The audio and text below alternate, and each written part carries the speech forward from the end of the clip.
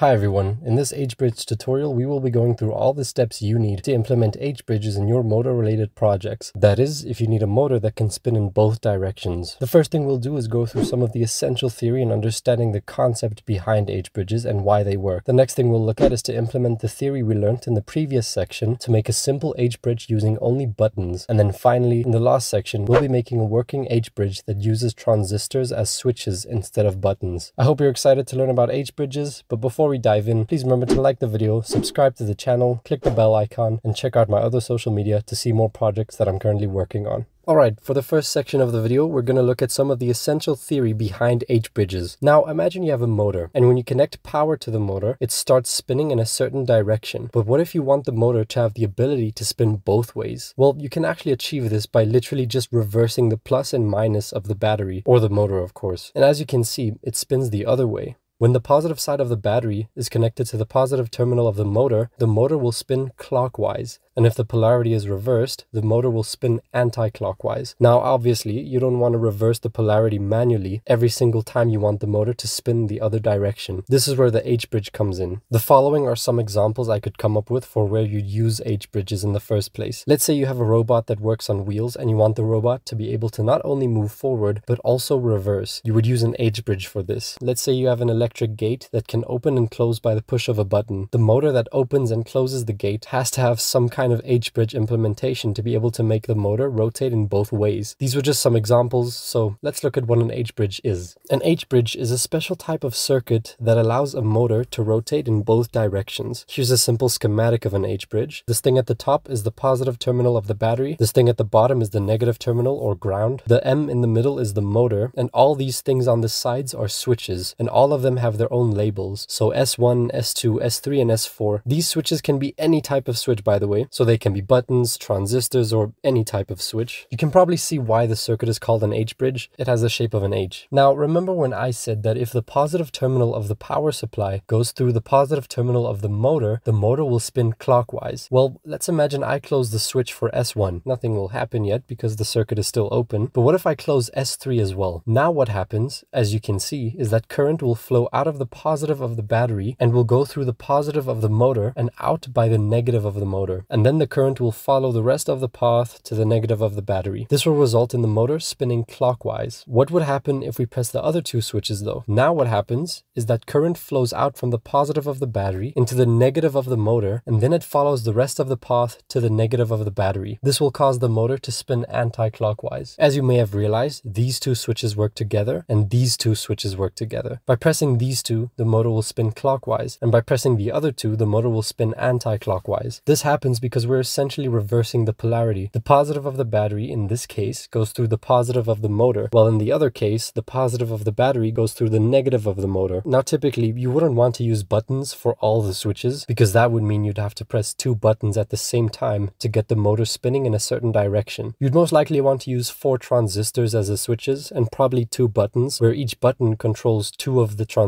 meaning that you'd have one button for clockwise and another button for anti-clockwise. We will be making an H-bridge that uses transistors in this tutorial, but for the sake of understanding H-bridges, the first circuit we'll be making uses only four buttons. Alright, so I have the breadboard that we'll be using right here. Now, like I said, the first H-bridge we'll be making uses four buttons. So I have two male-to-male -male wires here. This one's going to be used for the positive of the power supply, positive of the battery. This one's going to be used for the negative of the battery, and it goes in the negative terminal. This one goes in the positive terminal. Now you always want to connect the power supply last, So I'm just going to leave this for now. What I'm going to do next is I'm going to take the motor.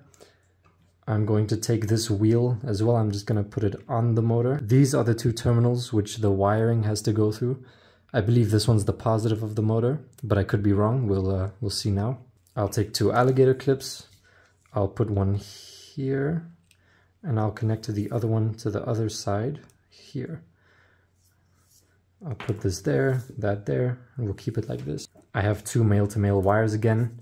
I'm gonna connect this one to here, and then I'm gonna put this in a random slot or row here.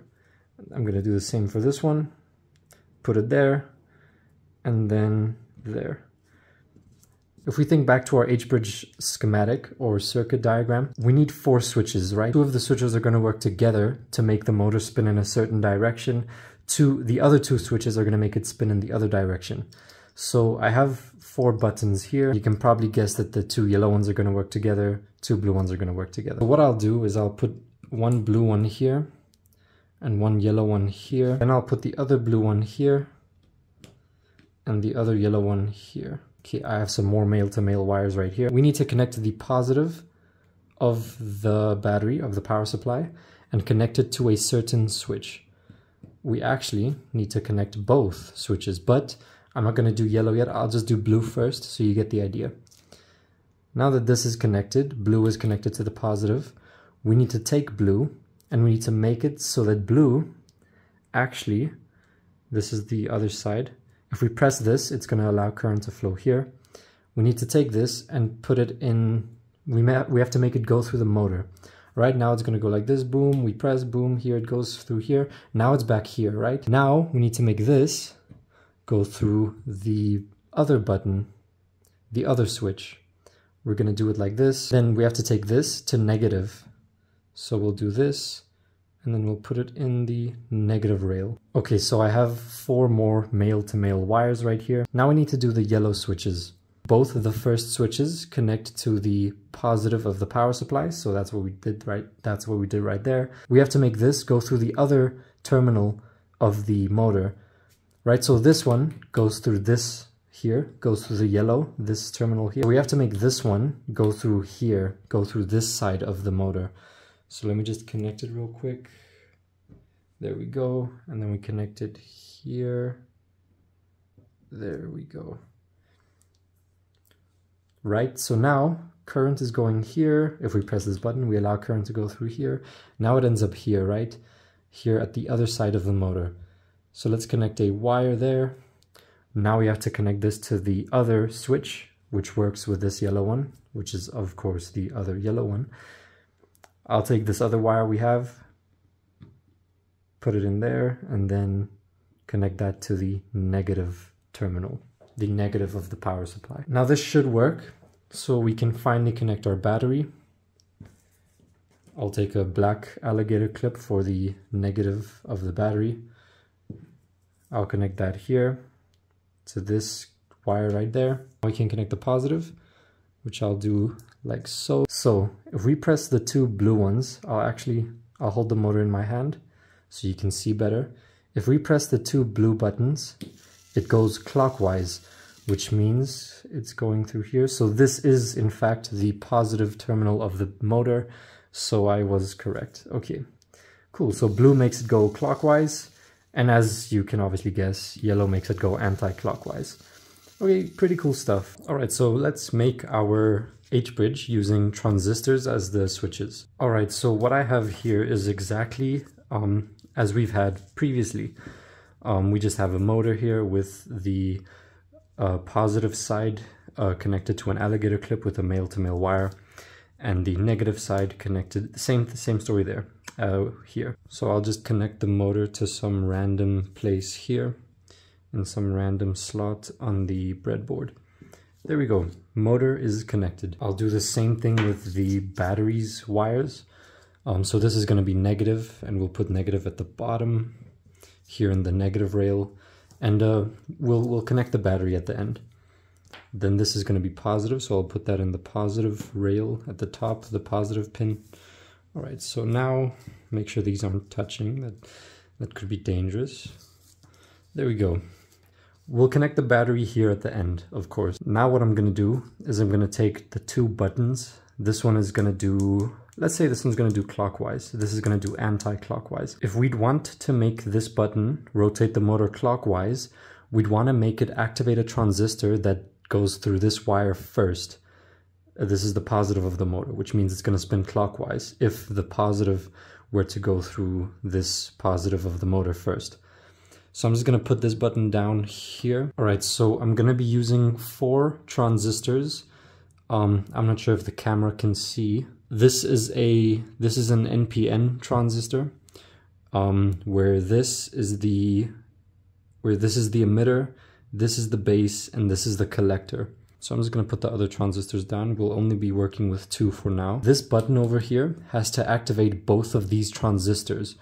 So I'm to put a transistor down here somewhere. This transistor is facing that way, which means that, let me actually just pick this up. Um, I'll zoom in, but on the far right is the emitter, in the middle is the base, on the far left is the collector. So we'll do it like that. And I'm actually going to put the other one down on the other side as well, facing this direction, which means it's uh, emitter, base, collector. Okay, so now this button is going to activate both of these transistors. I'm going to be using my own handmade wires for this so that it's easier to see. I'm going to connect this button to positive, if I can just get it there. Cool, this button is now connected to the positive lead of the battery. Seeing as our button is now connected to positive, we need to make it so that current goes through the base leads, the base pins of both of these transistors. So for each transistor, I'm gonna use a resistor of a thousand ohms. These ones I believe have 1% tolerance. So we'll connect the base pin of this transistor to the button because this button has to activate both of these. Then I'm gonna take the other resistor, put it in the base of this transistor, and connect that to the button over here. So now that we have our switches connected, we can actually connect this. We can actually connect this transistor, the top one, the top switch, to positive. We need to make it so that the collector is connected to positive. So I'm gonna put that in the, I'm gonna put this in the collector of the transistor. Now we're gonna take another wire. We're gonna connect that to the, to the emitter and we're going to put it through this side. So if you think about it, if we press this button, if we press this button, current is going to flow through the base of this transistor, allowing current to flow here. We activate the switch basically. And so we're allowing positive to go through the positive of the motor, which means this motor is going to spin clockwise if we press the blue button. Now we're all the way here, boom, boom. We're here at the other side of the motor and we have to connect this wire to the collector of this transistor which is the one on the far right. And then of course we need to connect this transistor to the negative terminal or the negative of the battery. Okay, now this side should be done. So we can now finally do the other side. So I'm gonna put this yellow button here. We're gonna do the exact same thing we did here, except um, positive is going to go through this side of the motor, which is going to make it spin anti-clockwise, out here through the other transistor, and then to negative. I'm going to take the other two transistors we have. I'm going to do it the same way as this. So I'm going to make one facing, I'm going to put the one that's on top, I'm going to make it face upwards, I'm going to put one at the bottom, I'm going to make this one face downwards. Let me actually just move this one up a bit. There we go. The base pins of these transistors should still receive positive. So I'm going to connect the button to positive. Same story with the resistors. These are, these are still a thousand ohms. So I'm connecting these resistors to the base pins of the transistors. Same as we did with the other ones. And now we're doing the same as before, except we're going to make it so that the positive, the positive of the battery goes through this one's collector. The collector's on this side, the right side. All right. Then we're going to connect to this one's emitter to this side of the motor. There we go. So now if we press this button, we're going to turn on this transistor. Current is going to go through here, through here, and then that means positive of the battery is going to go through the negative of the motor, which is going to make it spin anti-clockwise. But now, of course, we need to finish this transistor first before any of that happens. So I'm going to take another wire. I'm going to put this one into this part of the motor. Then we want to connect this to the collector of the transistor, which is this pin right here, the left side. And now all that's left to do is to connect the emitter to the negative of the battery. So we'll put this there, which is connected to the emitter of that transistor. And we want to put that in the negative terminal, the negative of the battery. Now, if we were to connect a battery or a power supply. Here, okay, I uh, almost thought I lost it. This is the positive of the battery, of course. So we want to do this. Okay, now let's just test first because I might have done something wrong, honestly. There we go. This, okay, moment, moment of truth. Okay, that is in fact clockwise. We said this one was going to be clockwise. And that one is in fact anti-clockwise.